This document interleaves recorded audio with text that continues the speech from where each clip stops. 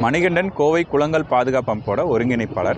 கோவை குளங்கள் பாதுகாப்பு அமைப்பு சார்பாக கோயம்புத்தூரில் இருக்க நீர்நிலைகளை பாதுகாக்கிற கலப்பணிகளையும் கோ கோயம் மாவட்டத்தில் நீர்நிலைகளை பசுமை பரப்பளவை அதிகரிக்கிற கலப்பணிகளையும் தொடர்ந்து ஈடுபட்டு வந்துட்டுருக்கோம்.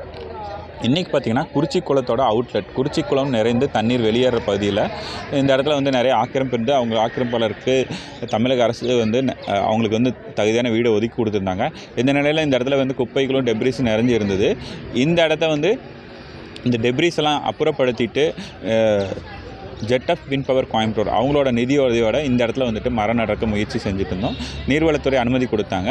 இந்த இடத்துல வந்து இருந்த டெப்ரிஸ் எடுத்துகிட்டு குறிச்சி குளத்துலேருந்து கோவை மாநகராட்சி வந்து ஆகாய தாமரை அகட்டினாங்க அந்த ஆகாய தாமரை வந்து இந்த இடத்துல அடி உரமாக கொடுத்துட்டு பேரூர் பெரிய குளத்துலேருந்து வண்டல் மண் வந்து ஒரு இரநூத்தி ஐம்பது லோடு வந்து இங்கே போட்டிருக்கோம். அது அதில் வந்துட்டு மண்ணை வந்து மூடிட்டு இந்த டெப்ரிஸ் எடுத்துகிட்டு இங்கே வந்து நாட்டு மரங்கள் ஒரு ஆயிரத்தி ஐநூறு மரங்கள் நடுறோம்.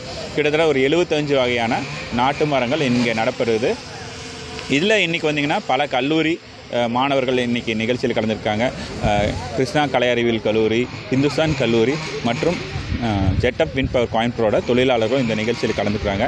கோவை மாவ மாவட்ட ஆட்சித்தலைவரோட தலைமையில் இந்த நிகழ்ச்சி நடக்குது. மாநகராட்சி ஆணையாளர் மேயர் துணை மேயர் மாமன்ற உறுப்பினர்கள் தன்னார்வலர்கள் இன்றைக்கி வந்து ஆய ஆயிரக்கணக்கான மரங்களை இன்றைக்கி நட இருக்கிறாங்க.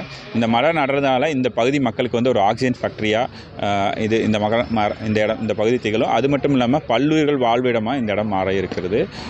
இந்த வாய்ப்பு கொடுத்த மா மாவட்ட நிர்வாகத்துக்கு இந்த நேரத்தில் நன்றி சொல்லிப்போம்